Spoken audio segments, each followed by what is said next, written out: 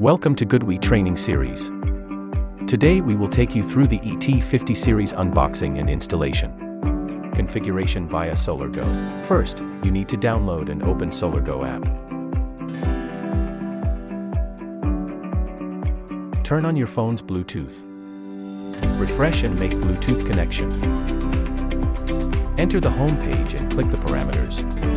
Click the settings button in the lower right corner. Click quick setting. Enter the password 1111. And you will see the voltage protection parameters.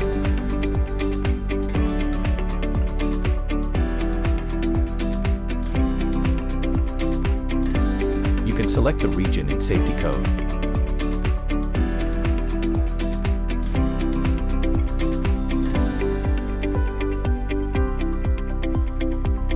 Click Next to enter Battery Connect settings.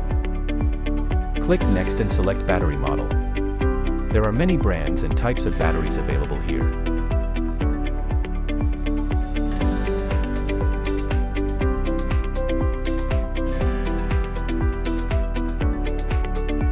Click Next and choose Self-Use Mode.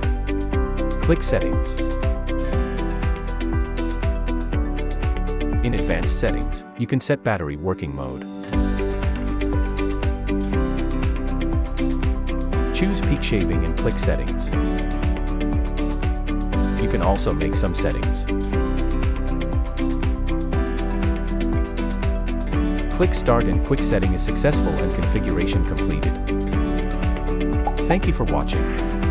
For more installation and configuration videos of GoodWe training series, please visit our GoodWe community and stay tuned to our official account.